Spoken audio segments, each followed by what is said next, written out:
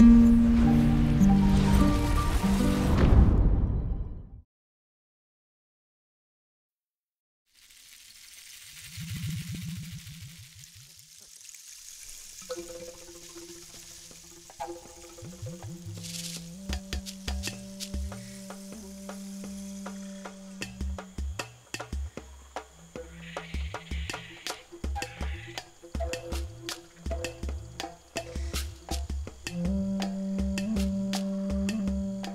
Las llamadas civilizaciones mesoamericanas que habitaron el México antiguo construyeron piedra sobre piedra durante algo más de 3.000 años un mundo que si bien no era inédito, era claramente singular.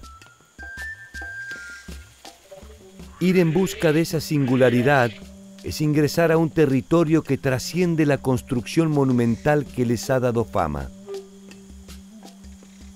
Sus complejas y a veces temibles formas de organización, sus relaciones comerciales, sus sistemas de escritura, sus conocimientos matemáticos y astronómicos y su compleja cosmogonía son algunos de los indicios que aún quedan en pie para dar cuenta de su historia.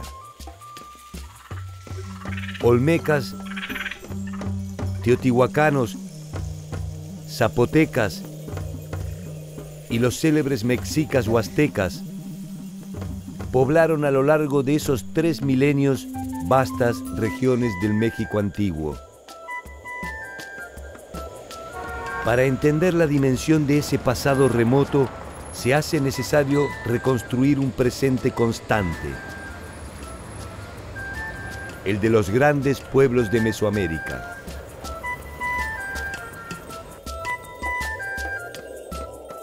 ¿Cómo concibieron el orden del mundo los grandes imperios mesoamericanos?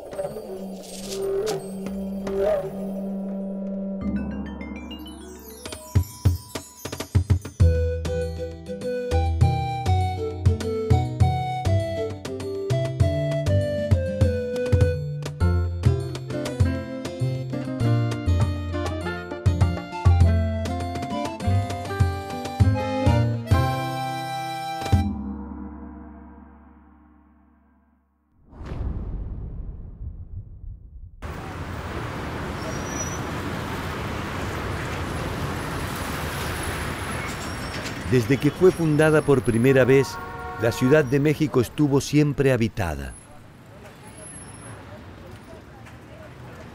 A diferencia de muchas de las ciudades mesoamericanas, esta nunca fue abandonada.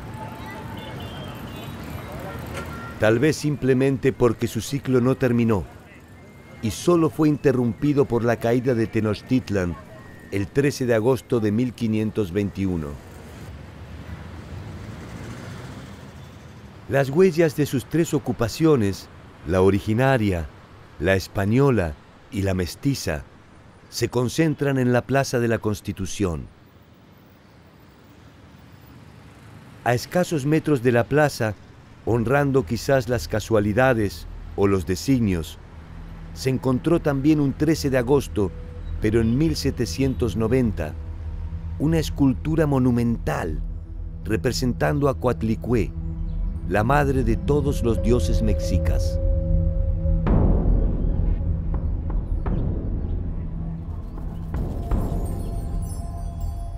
Unos meses después, en diciembre de 1790, a escasos metros de donde encontraron a Coatlicue, se desenterró otra pieza legendaria.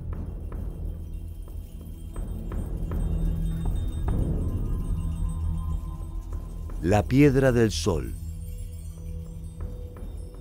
El pueblo mexica, en menos de 200 años, construyó uno de los imperios más vastos del territorio mesoamericano. Para lograr esta hazaña, justificaron sus acciones declarándose el pueblo del sol. Su misión en este mundo era alimentar al sol con corazones.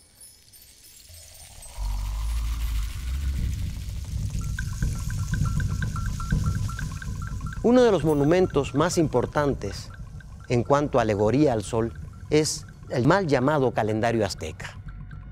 En realidad este nombre se le puso en el siglo XVIII cuando fue descubierto en la Plaza Mayor de México Tenochtitlan. En ese entonces se pensó que era un calendario. En realidad el nombre correcto es la Piedra del Sol. Después de su hallazgo, la Piedra del Sol fue trasladada para su exhibición a la Catedral de la Ciudad de México. Coatlicue, en cambio, es confinada al poco tiempo al patio de la Real Universidad. Recuperadas a escasos metros de distancia una de la otra, la Piedra del Sol con un destino público y Coatlicue con uno anónimo. Coatlicue, la de la falda de serpiente, es la diosa madre, es la tierra. Pero antes de que el sol naciera, existían sus hermanos, las estrellas, y su hermana, la luna. Cuando estos se enteraron que la madre iba a parir a el sol, que es Huitzilopochtli, decidieron atacar a la madre. Pero Huitzilopochtli nació antes de tiempo y con su espada de serpiente de fuego destruyó a sus hermanos, especialmente a la luna.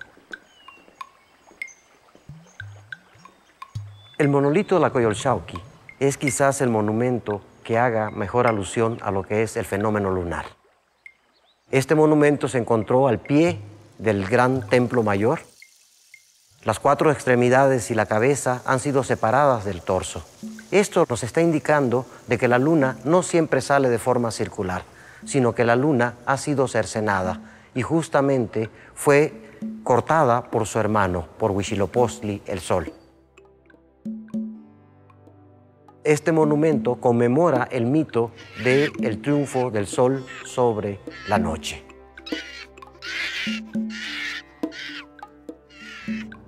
Huitzilopochtli es entonces el numen del pueblo mexica. Es el símbolo de un pueblo guerrero que continuamente está consiguiendo cautivos para proveer de corazones a esta deidad.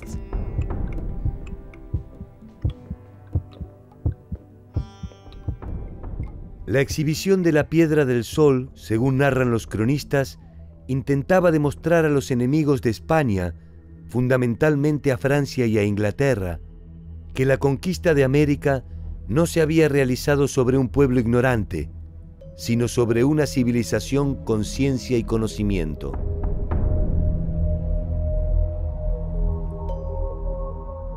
Coatlicue, en cambio, si bien era obra del mismo pueblo civilizado, representaba a la hereje idolatría de los bárbaros y quizás por eso fue confinada. Al poco tiempo, los indígenas comenzaron a realizar pequeñas ofrendas a los pies de Coatlicue. Esto fue suficiente para que se decidiera volver a enterrarla, en esta ocasión en el académico patio. Coatlicue volverá brevemente a ver el sol a principios del 1800, cuando Alexander Humboldt solicita ante las autoridades para que le permitan estudiarla. Concluida la pétrea autopsia, volvió a ser enterrada y solo recuperó su libertad en 1824 a instancias de la Revolución.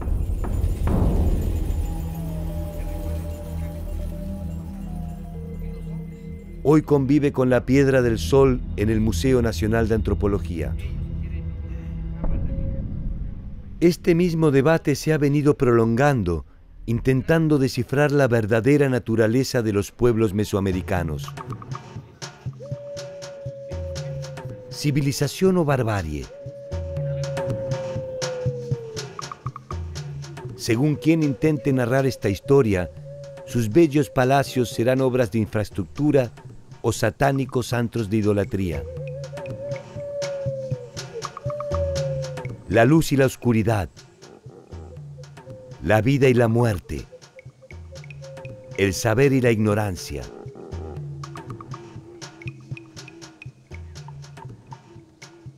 Un mundo distinto o el mismo mundo de siempre. Estas son algunas de las contradicciones que pueden empezar a contestarse a partir del conocimiento del pasado mesoamericano. Cuentan que cuando los mexicas o aztecas sometían a un pueblo, no solo tomaban posesión de sus vidas y riquezas, también se llevaban sus dioses hasta el templo de Coateocali. Allí ponían en sacro cautiverio las representaciones de estos dioses.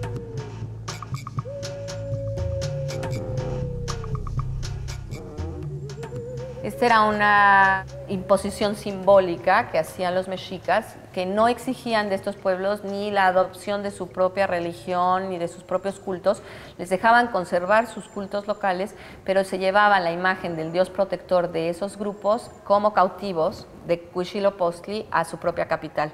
En este sentido, simbólicamente los pueblos se sentían desprotegidos o sentían que si el dios de los aztecas había conquistado a los suyos, ellos de alguna manera estaban en una situación de inferioridad para rebelarse frente a los conquistadores.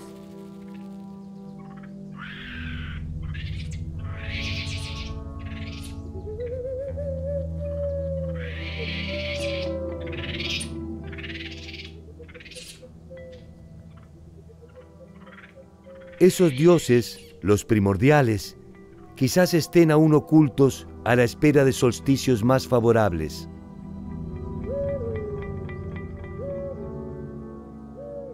No sabemos si volverán ni si estarán con nosotros cuando lleguemos al final del camino. Sí sabemos, al menos, desde dónde vienen. Para algunos, los olmecas son la raíz de todas las grandes culturas mesoamericanas, incluso la maya.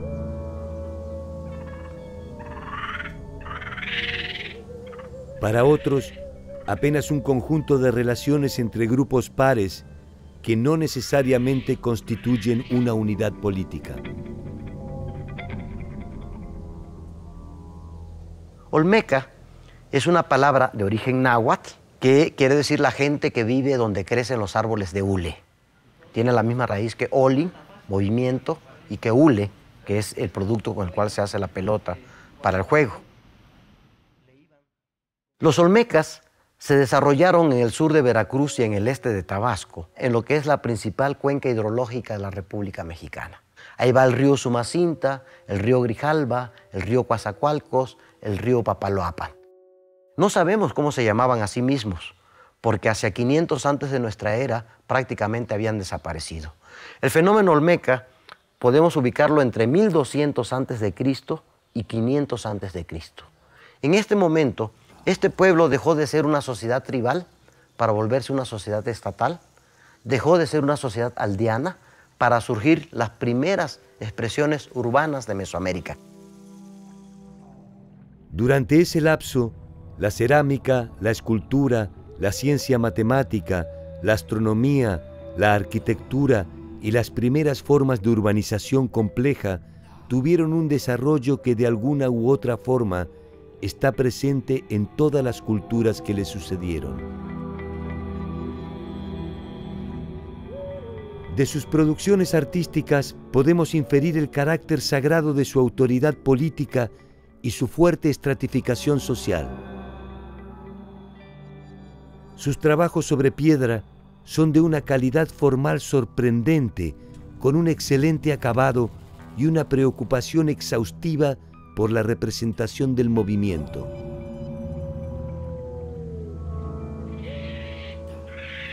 Queda aún mucho por saber acerca de los olmecas, tal vez porque cada hallazgo no hace más que abrir una nueva bóveda de misterios. Uno de ellos, quizás el más descomunal, es el de las cabezas colosales. Ningún otro pueblo de América hizo esculturas del tamaño de los olmecas. Tenemos las famosas cabezas colosales, de las cuales conocemos 17 de estas. Algunas llegan a pesar hasta 20 toneladas y proceden de yacimientos de canteras que pueden estar hasta más de 100 kilómetros de la zona donde se dedicaron. Son ellos los primeros en adelantarse a su propio tiempo. Una sociedad aldeana que comienza a establecer un sistema de creencias que habrá de perdurar hasta el día de la fecha. Quizás lo más importante de los olmecas es de que plasmaron gráficamente una ideología que posiblemente existía desde mucho antes, pero como no se plasmaba en materiales duraderos, no había llegado. Entonces los olmecas son los creadores del primer sistema semiótico de comunicación en Mesoamérica. A través de una serie de signos nos van a mostrar a sus dioses.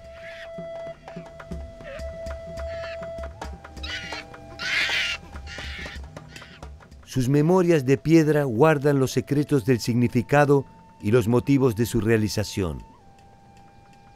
Se presume que fueron desplazadas gracias al aprovechamiento de los cauces de agua y fundamentalmente a las crecidas de los ríos. Cada emplazamiento comprometía una compleja organización estatal. Los personajes representados también han dado un sinnúmero de interpretaciones.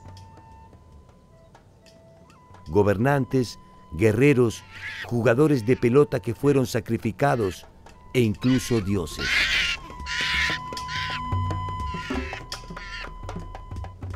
Su presencia la tenemos en toda Mesoamérica.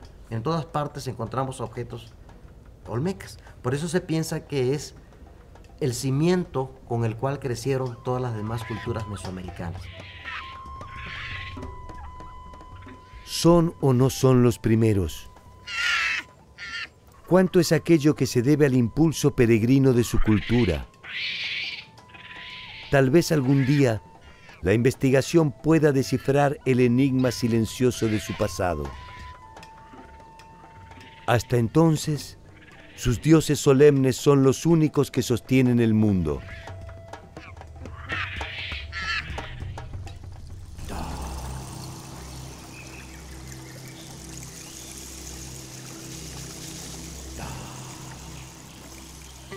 Para los mesoamericanos, el mundo se había destruido cuatro veces antes del tiempo presente. Cada una de estas eras históricas estaba identificada con el nombre de un sol. El quinto de estos soles es el que todavía nos ilumina y fue puesto en marcha por el mismísimo dios Quetzalcoatl en la ciudad de Teotihuacán, que es, según estas creencias, la madre de nuestro propio tiempo. La cuenca de México era un lugar de ocupación humana desde épocas muy remotas, antes de la llegada de los aztecas y de los grupos que se asentarían después y se desarrollarían en esta zona. Había sido escogida por los primeros grupos agrícolas aldeanos de Mesoamérica de la zona central por la riqueza de sus suelos. Muchos de estos grupos campesinos, presionados por la densidad demográfica en la parte sur del valle, salieron de la cuenca y ocuparon el valle anexo, que fue Teotihuacán, y se dio el desarrollo de esta gran civilización teotihuacana en el periodo clásico.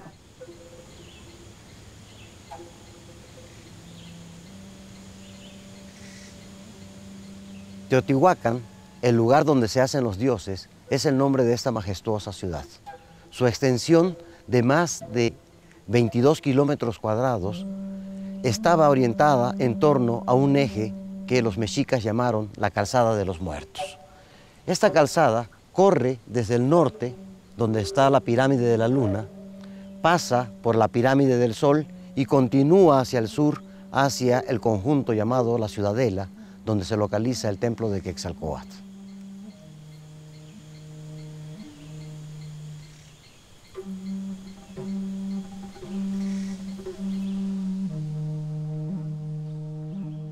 El templo de Quetzalcoatl es una estructura construida bajo dos patrones clásicos de la arquitectura teotihuacana.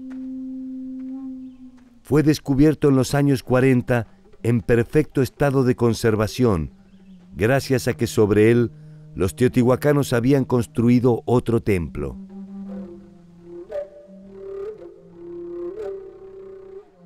Estamos en la sala teotihuacana del Museo Nacional de Antropología e Historia. Aquí observamos la reconstrucción del templo de Quetzalcoatl de Teotihuacán. Esta reproducción nos muestra una idea del cosmos según la concepción teotihuacana. Vemos aquí un ambiente acuático, a pesar de que Teotihuacán está a más de 300 kilómetros en líneas rectas del mar, lo cual nos indica que no es un retrato del mar en su forma natural, sino que se trata del océano primordial, el mar primigenio donde fue creada la tierra. Entre los mitos mesoamericanos se cree que la tierra es un cocodrilo que flota en el océano primordial y las escamas son las cadenas montañosas. De ahí que este ser que está cargando la serpiente sea la tierra. La tierra flotando en el océano primordial, pero flota gracias a que es sostenido por el cuerpo de la serpiente. La serpiente muestra el cuerpo de perfil, pero la cabeza de frente. Vemos cómo a través de este movimiento la cabeza gira 180 grados y sale de frente.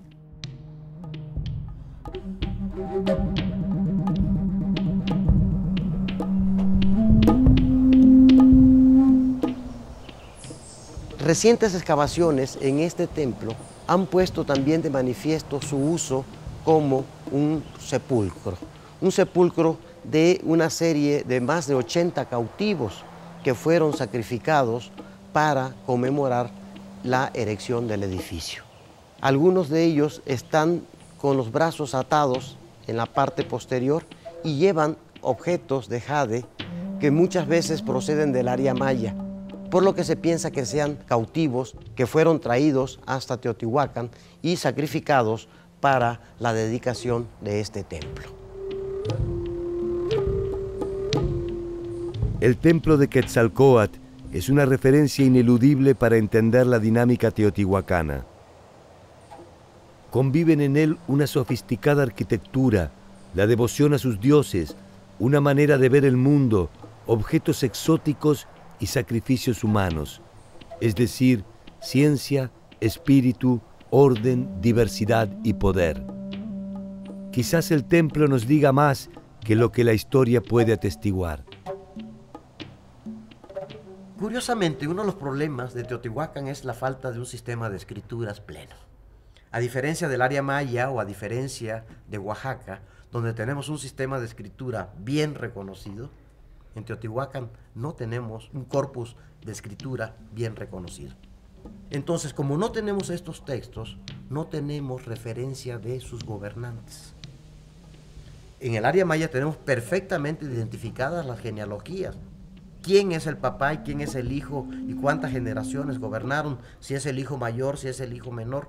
Todo nos lo dicen los textos jeroglíficos. Y además, tanto en el área maya como en Oaxaca, se han explorado tumbas reales tumbas de gobernantes. Sin embargo, en Teotihuacán no tenemos la escritura, no tenemos los nombres de los gobernantes, no tenemos tumbas reales y pone en duda si hubo un poder central en una sola persona o si bien fue una confederación de sacerdotes los que administraban esta ciudad.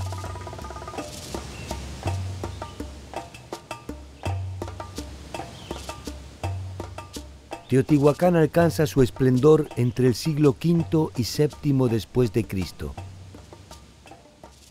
Es el núcleo central de un grupo de pueblos posiblemente confederados bajo su órbita, que incluía más de 80 aldeas y una centena de villorios adyacentes. Alrededor de un 60% de la población estaba dedicada a la producción de alimentos mediante la agricultura. En la zona urbana, un complejo entramado de unidades residenciales albergaba a ceramistas, talladores de obsidiana, lapidarios y artesanos. Podemos imaginarnos un día de Teotihuacán, lo populoso de la ciudad, las peregrinaciones llegando a ver las celebraciones a los dioses patronos. Teotihuacán era una ciudad cosmopolita, se han detectado barrios zapotecas, barrios mayas, barrios huastecos y la población local. Esta variedad étnica se unificaba bajo la tutela de un mismo sol. El camino más corto para llegar a él era la pirámide del Sol, uno de los principales monumentos de América. Está construida sobre una cueva natural por la cual se ingresa al interior de la pirámide. Posee en su interior cuatro cámaras que representarían el ingreso al inframundo. Orientada hacia el poniente, con cuerpos escalonados en forma de talud, alcanza una altura total de 63 metros.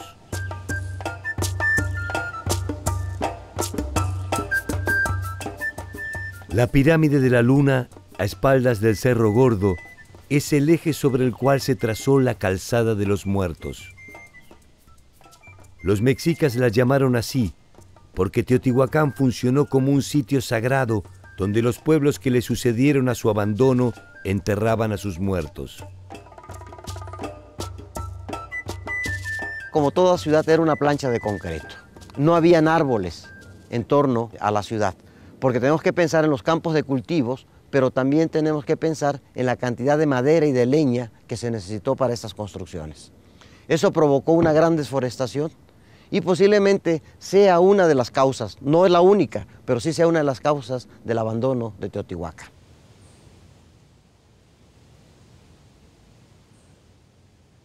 Hacia el año 700 después de Cristo, la ciudad que según las escrituras fue la que dio origen a los hombres, se perdió irremediablemente abandonada por sus pobladores.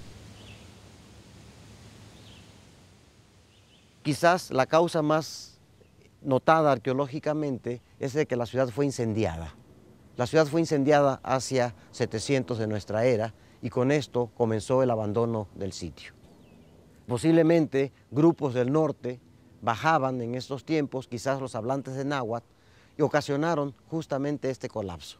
Pero también debieron haber sido causas externas, como el cierre de las rutas de comercio que controlaban pueblos aliados a Teotihuacán, que poco a poco se fueron apropiando del control de las rutas que antes Teotihuacán dominaba. El tiempo de la ciudad donde se hacen los dioses terminó por cuestiones bastante terrenales. Tal vez la migración de los grupos del norte, tal vez el deterioro del ecosistema, tal vez una rebelión de sus propios pobladores o la asfixia de sus aliados más importantes. Tal vez, simplemente, cumplió la parte del plan pergeniado por los dioses y agotó con cierta furia el tiempo histórico que le estaba predestinado.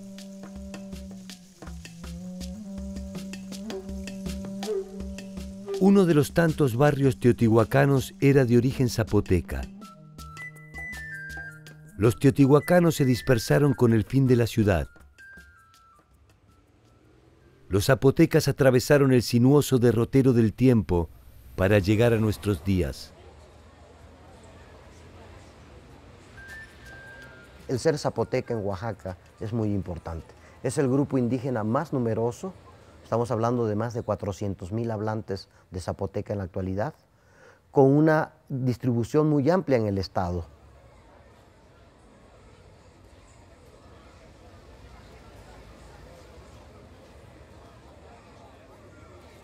Sin duda, este pueblo, de gran tenacidad cultural, ha creado un fenómeno interesante en casi todo Oaxaca que es la zapotequización.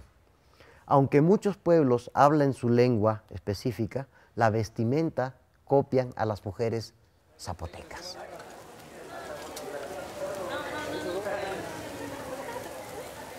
Entonces, los legados culturales de los zapotecas van desde los de la época prehispánica, donde algunos investigadores piensan que el origen del calendario, el origen de la escritura mesoamericana se desarrolla en Monte Albán, hasta la presencia actual en Oaxaca del grupo Zapoteca.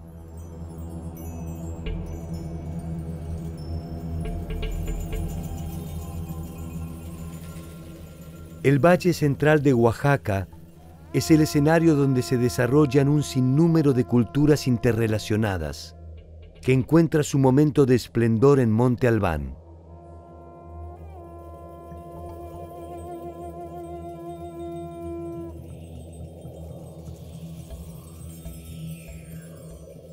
Monte Albán fue el centro urbano más importante de la cultura zapoteca.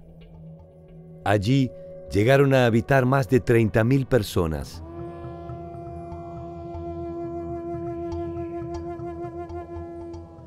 Tuvieron un importante desarrollo de la industria cerámica, una consistente utilización de la escritura jeroglífica y numeral, amplios conocimientos astronómicos, y por lo que se supone una tradición guerrera y combativa que según algunos los llevó a su declinación hacia el 800 de nuestra era, cuando comenzaron a articularse con las culturas mixtecas. En Monte Albán utilizaron complejos y rigurosos ritos funerarios, con enterramientos múltiples que incluían sofisticados atavíos para los muertos. Entre ellos, el pectoral de jade, que representa al dios murciélago construido con piezas de jade finamente pulidas y engarzadas. Y lo interesante de esta pieza es que representa al murciélago. En Mesoamérica, los murciélagos, igual que en otras partes del mundo, están asociados con el inframundo. Son comunicadores, por ser animales nocturnos, son comunicadores del mundo de los muertos.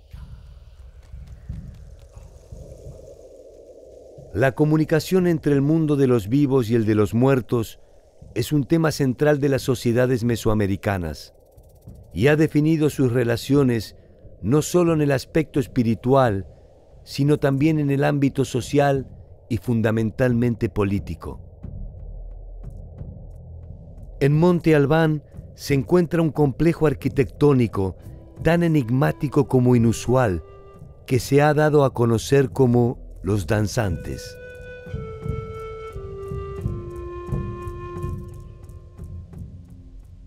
Se trata de más de 300 lápidas talladas sobre piedra que revisten un edificio con representaciones de personajes en distintas posiciones.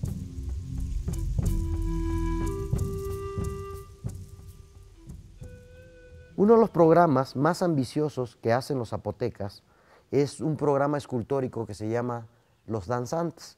Mal llamado Los Danzantes, porque realmente no son danzantes, se les llama danzantes porque tienen siempre posiciones contorsionadas, pero la verdad que ahora se ha interpretado más bien como una galería de cautivos.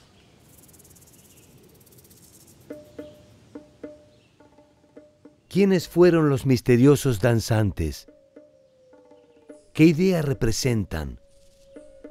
¿Por qué motivos fueron ubicados estratégicamente al pie del templo? Las respuestas a estas preguntas nos permiten avanzar sobre un retrato del verdadero poder de Monte Albán. Este edificio de los danzantes lo que nos mostraba era una galería de cautivos, algunos de ellos castrados. Los genitales están cortados y salen chorros de sangre en forma de flor. Entonces, una forma de imponer el terror y el control fue justamente haciendo una galería de cautivos. Es algo así como, ve lo que te puede pasar si no te alineas al estado de Montalbán. Hacia el 500 después de Cristo, Monte Albán ya no es la ciudad que rige los destinos de Oaxaca, es tiempo de nuevos señoríos.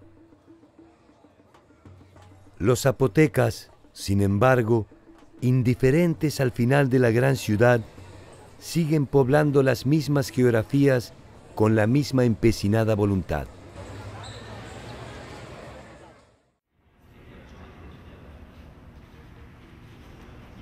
Los pueblos de Mesoamérica organizaron el cosmos, al igual que el resto de los pueblos del mundo, en torno a un eje vertical que incluye al inframundo, el mundo de los muertos, el plano terrenal donde interactúan los humanos y el plano celestial donde viven los astros.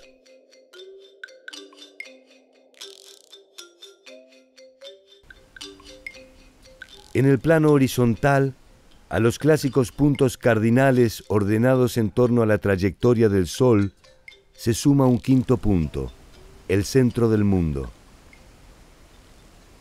En esta parte del centro se yergue el Axis Mundis, el árbol cósmico, el árbol de la vida, cuyas raíces van al inframundo, pero cuyas ramas van hacia el cielo. Entonces, este Axis Mundis es el principal medio de comunicación entre los tres niveles del cosmos. Los pueblos mesoamericanos, igual que muchos pueblos del mundo, comparten este sistema de creencias que son universales. Recordemos que el hombre americano no es originario de América. Si bien es cierto, llegó hace muy poco, no hace más de 50 mil años, pero cuando llega ya es Homo sapiens. O sea, 100, 200 mil años antes de que el hombre llegue a América ya hay todo el culto a los muertos. Entonces vamos a encontrar similitudes en los cultos funerarios mesoamericanos y los peruanos y los egipcios y los africanos y los chinos y los europeos, o sea, porque es una cosa que comparte toda la humanidad.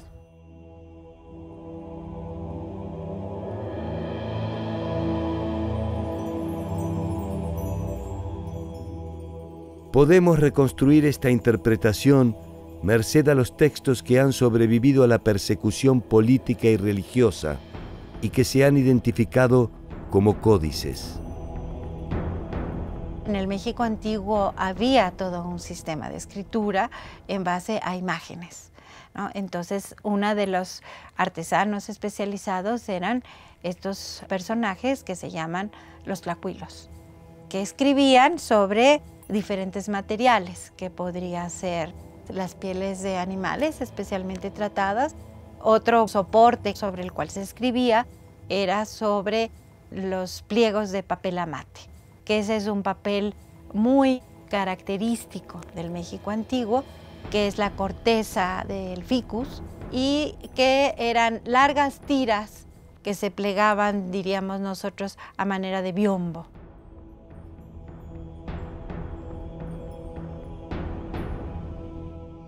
Los códices tienen contenido de distinta naturaleza. Hay códices completamente históricos, hay códices genealógicos, hay códices astronómicos. Por ejemplo, los tres que conservamos del área maya contienen tablas de eclipses, presagios acerca del destino de los días, etc.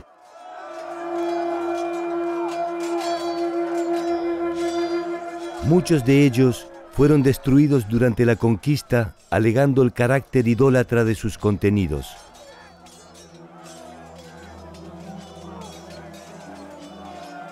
Los pocos que sobrevivieron, en su mayoría, están archivados fuera del territorio mexicano. Resulta paradigmático que los nombres con los que se identifican estos documentos sean los mismos de los que procedieron a su apropiación ilegal. Entre estos códigos se encuentran el florentino, el Boturini, el Madrid, el Dresde, el Borgia y el Vaticano. Algunas veces los códices guardaban memoria histórica de los pueblos. Eh, sabemos que Iscoat, el cuarto emperador azteca, mandó quemar códices para evitar que las versiones de la historia que no eran tan favorables a lo que quería imponer el grupo reinante azteca sobre los otros grupos quedaran borradas de la memoria colectiva y entonces se hizo una gran destrucción de códices y a partir de esa fecha se empezaron a escribir la versión oficial dirigida por el grupo dominante. Itzcoatl llegó al poder en el año 1430. A partir de la quema de los códices, está en condiciones no sólo de escribir el futuro de su pueblo, también es dueño de su pasado. Esta aberración totalitaria es la que da origen a uno de los más célebres textos de la cultura azteca, la tira de la peregrinación. 188 años de historia mexica es la que contiene la tira de la peregrinación, conocida también como Códice Boturini. En él se narra la partida de los mexicas desde Aztlán, cuando aún eran vasallos, para seguir a su dios tutelar Huitzilopochtli en busca de la tierra prometida.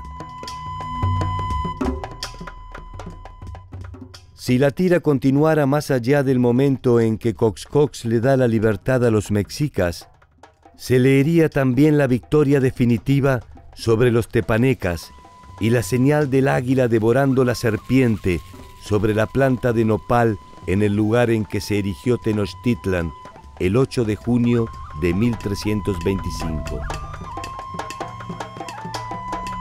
La ciudad de Tenochtitlan llegó a ser una de las maravillas del Nuevo Mundo. Este, se calcula que llegó a tener entre 150 y 200 mil habitantes.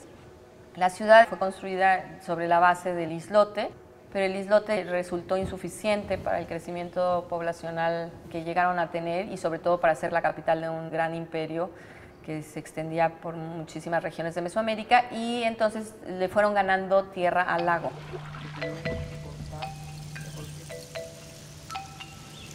Se hizo por un sistema que se llama chinampas, de construcción de suelos que se ganan al lago. La ciudad tenía tanto calles construidas para circular como canales para las canoas. La ciudad como islote estaba unida a la tierra firme por medio de cuatro grandes calzadas y luego una gran calzada dique, de la cual es una obra de ingeniería mayor que hicieron los mexicas en la época ya de esplendor de su cultura. En estas calzadas dique había tramos en los cuales eran interrumpidos por huecos y se ponían puentes móviles y entonces en casos de ataques militares se recogían estos puentes móviles y se podía así aislar la ciudad como un islote verdadero. El centro de la ciudad concentraba el poder político y religioso en uno de sus edificios emblemáticos, el Templo Mayor. El Templo Mayor es el corazón de la ciudad. Este templo no está dedicado a un solo dios, sino está dedicado a dos dioses que generan la economía de la sociedad mexica. Huitzilopochtli en el sur y Tlaloc en el norte. Huitzilopochtli es una deidad guerrera. Quizás es una deidad que traían los mexicas desde el origen de su peregrinación, mientras que Tlaloc era una deidad de agricultores establecidos previamente en esta zona. De esta manera, los mexicas crearon un vasto imperio. Por un lado la guerra, capturando esclavos para sacrificarlos al sol, pero sobre todo obteniendo áreas de tributación, cada vez áreas de tributación más lejanas del territorio mexica. La grandeza de Tenochtitlan, su imponente aparato militar y la convicción de sus gobernantes a propósito de su destino, no tardaron en llevar a la ciudad a un liderazgo regional que se consolidó mediante la formalización de lo que se conoce como la Triple Alianza. Esta unió a los reinos de Tenochtitlan, Texcoco y Tlacopan en un entramado de intercambio de derechos, tributos y territorios que resultó siempre más favorable a Tenochtitlan.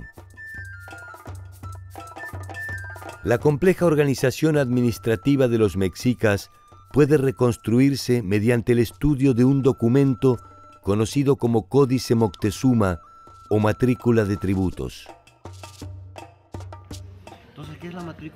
En él se especifica cuáles eran las localidades tributarias y cuál era la dimensión del aporte que debían entregar a los señores de Tenochtitlan.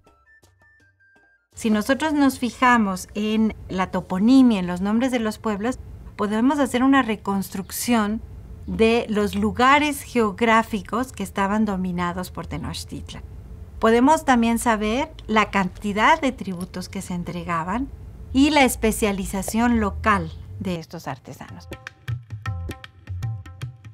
El conjunto de estas obligaciones definía las distancias entre las diversas clases sociales, los que pagaban el tributo y los que lo recibían. Estos grupos sociales estaban encabezados por una nobleza, la capa más alta de la sociedad, formada por lo que se llama en náhuatl los pipiltin, que eran quienes ejercían el poder, quienes tenían el control político y religioso. Su gobernante principal era el Huaytlatoane.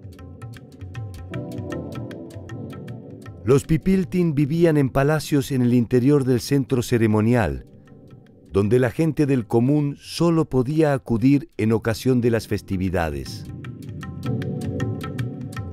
Después estaba un grupo mucho mayor que eran los Masehualtin o Masehuales, la gente común, la gente del pueblo, formado básicamente por los campesinos. Los Masehuales se organizaban en torno a unidades productivas de tipo familiar, denominadas calpuli. Los calpulis podían ser tanto rurales como urbanos, de artesanos, plumajeros, talladores o de agricultores. Se trataba de pequeñas células autónomas y autosuficientes que poseían la tierra en forma comunitaria, aunque debían obediencia y tributo a la clase dominante. La organización de los calpuli era sencilla e incluía asistencia jurídica y religiosa a cargo de alguno de sus integrantes. Dentro de estos grandes grupos había otros estratos intermedios que podrían ser lo que se ha llamado los pochtecas, o sea, los comerciantes, los mercaderes especializados, que tenían también un lugar privilegiado.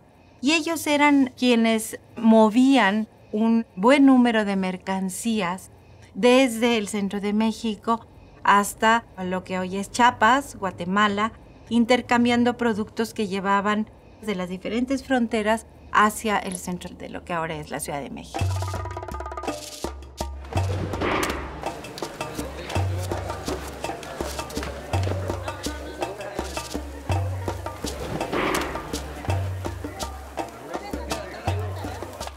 El mercado fue una de las instituciones centrales del mundo mesoamericano.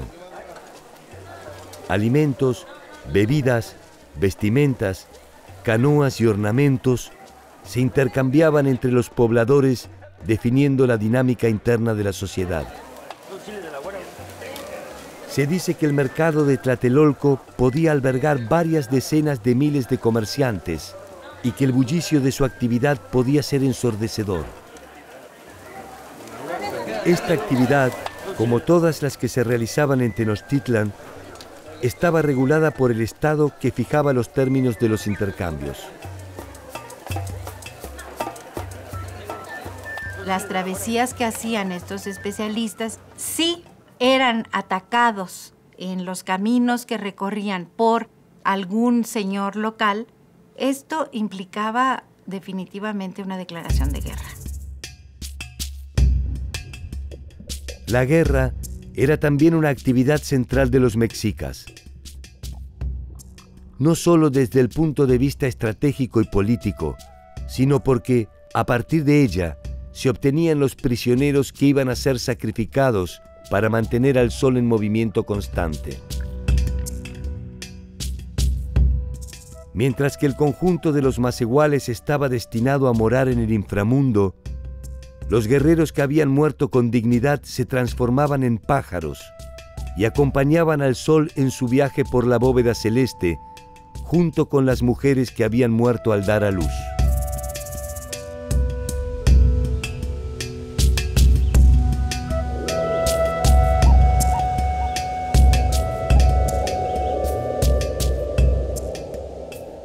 La importancia de la muerte y las circunstancias en las que ésta se producía ha dado origen a un sinnúmero de interpretaciones acerca de las características de la sociedad mesoamericana. Sería ingenuo pensar que las clases dominantes no utilizaron el miedo para conservar sus privilegios. También sería ingenuo pensar que la compleja forma en la que las sociedades organizan su espiritualidad es sólo una simple treta de los poderosos.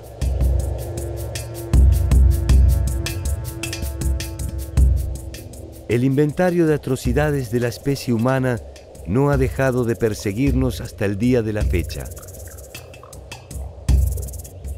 La maravilla de sus obras tampoco. Las sociedades mesoamericanas fueron complejas y diversas. Su destino no fue diferente al de tantos otros imperios que en vano intentaron consagrarse a la eternidad. La piedra del sol y Coatlicue felizmente están desenterradas.